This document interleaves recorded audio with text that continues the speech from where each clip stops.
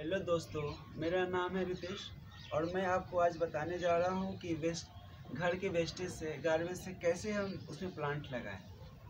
तो आप आज देख सकते हैं, मेरे सामने कुछ प्लांट रखे हुए हैं और जो प्लांटर जो जिसको बोल सकते हैं और इस, इसको मैंने आपके इलेक्ट्र इन्वर्टर की बैटरी का ये जो पानी है, जो हम लोग लाते हैं इन्वर्टर की बैटरी में रखने के लिए, उसी की पानी है ये। और ख़त्म होने के बाद मैंने इसे कटिंग कर दिया इस बोतल में और इसमें मैंने मिर्ची का प्लांट लगाया है, जो आप देख सकते हैं काफ़ी काफ़ी ग्रोथ कर रही है। और मैं आपको भी सजेस्ट करूँगा कि आप भी इसमें ही इसको गार्बेज को फेंके नहीं, इस वेस्ट को फेंके नहीं और घर के, घर में ही छोटे छोटे प्लांट इसमें लगा सकते हैं। और आप भी लगाएँ और ख़ास करके से मिर्ची की प्लांट और बहुत सारे प्लांट तो मैंने लगाए हैं लेकिन फ़िलहाल मैं आपको आज आ, मिर्ची के प्लांट के बारे में ही बताऊँ क्योंकि इस, इसकी जड़ें इतनी इतनी भी नहीं बढ़ती है कि ये हो नहीं पाए।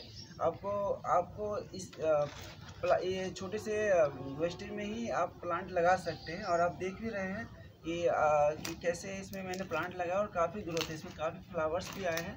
तो आज मैं आपको कुछ मिर्ची के बारे में ही बता दूँ, क्या कि मिर्ची कैसे लगा, लगाते हैं और कैसे इसका प्रोसेस है, वो मैं आपको बताना चाहता हूँ। तो आप देख सकते हैं कि क्योंकि मिर्ची का प्लांट काफ़ी उतनी मेंटेनेंस की उसकी ज़रूरत नहीं होती है। और आप, घर, सबके घरों में ही मिर्ची की मिर्ची आप मिर्ची खरीद के लाते हैं। रेड जो मिर्ची लाते हैं, जो सब्ज़ी में यूज़ भी होती है तो आप ऐसा करें कि वो मिर्ची को जो रेड मिर्ची को कहीं पे भी किसी भी गमले में छीट लें, और उससे ही मैंने उगाया भी है, आप देख सकते हैं मैंने उगाया भी है, बहुत सारे मिर्ची मैंने उगाया भी है। मैंने जो हम लोग, जो रेड चिली है उसको मैंने यहाँ पे, इसको छीट दिया था, और उसी पे ऊपर हल्का सा मैंने मिट्टी डाल दिया था, जो अभी ग्रोथ ग्रोथ है, इसके बाद, कुछ दिन के बाद मैं इसको ट्रांस, रिपोर्ट कर दूँगा, और दूसरे प्लांटर में मैं इसको लगा दूँगा। तो आप ये देख सकते हैं, ये तो मैंने स्टार्टिंग पीरियड इसके बाद मैंने इसमें कुछ प्लांट को मैंने ट्रांसफ़र करके ही रखा है। आप देख सकते हैं कि ये लग भी गए और काफ़ी हेल्दी भी है प्लांट और ये इस, इसको कुछ ज़्यादा ही मेहनत की ज़रूरत होती नहीं है और आप लगा सकते हैं। और मेनली मैंने इसमें, और जो मिट्टी की बात करूँ तो मैंने इसमें मिट्टी का काफ़ी गोबर और बर्मी कंपोस्टिंग में कोशिश करता हूँ, डालता हूँ। दूसरी में और जैविक खाद ही में डालता हूँ, क्योंकि ये खाने में यूज़ होती है तो मैं दूसरा कोई प्लांट दूसरा कोई मतलब खाद में डालता नहीं, क्योंकि उससे आपकी हेल्थ को भी नुकसान पहुँच पहुँच सकता है। तो आप कोशिश करें कि गोबर की खाद और प्लांट और बर्मी कंपोस्ट और मिट्टी की जो मिक्सचर होती है, वही यूज़ करें, ताकि आपको हेल्थ भी बने रही और प्लांट का भी हेल्थ बना रहे। और उसके बाद मैं आपको आपको बता इस, इसको जो मिर्ची की प्लांट होती है, उसको काफ़ी धूप की ज़रूरत होती है, काफ़ी उसको सनलाइट की ज़रूरत होती है। इसीलिए कभी आप कोशिश करें कि अपने बालकनी में ना लगाएँ, छत पे लगाएँ ताकि उनको काफ़ी रोशनी मिल सके, काफ़ी धूप मिल सके और इससे आपकी उसको, उसकी जो एनर्जी बनी रहे वो ख़राब नहीं हो। फिर आप देख ही सकते हैं। और इसके बाद इसमें आप देख सकते हैं, मैंने छोटे से प्लांट और मैं आपको थर्ड जो है उसको मैं बता रहा हूँ कि इसके बाद मैंने ये है जो प्लांट कुछ दिन पहले लगाया था। इसमें काफ़ी आप देख रहे हैं कि ये प्लांट में काफ़ी फ्लावर्स आ चुके हैं, जो कुछ दिन के कले पकड़ लेगी और ये देख ही रहे हैं। और ये काफ़ी इसमें आ चुके हैं।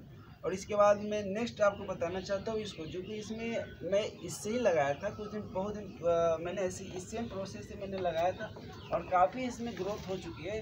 मैंने इसमें दो बार ऑलरेडी मैंने हार्वेस्ट कर चुका हूँ इसमें। और फिर भी इसमें अभी आप देख सकते हैं कितने सारे आ, कितने सारे इसमें मिर्ची लगे हुए आप चारों साइड देख सकते हैं इसमें। और अब अब देख लीजिए, इसमें बहुत सारी मिर्ची, देखिए यहाँ पे मिर्ची लगे हुए यहाँ पे है, काफ़ी सारे मतलब ढेर सारे इसमें मिर्ची है।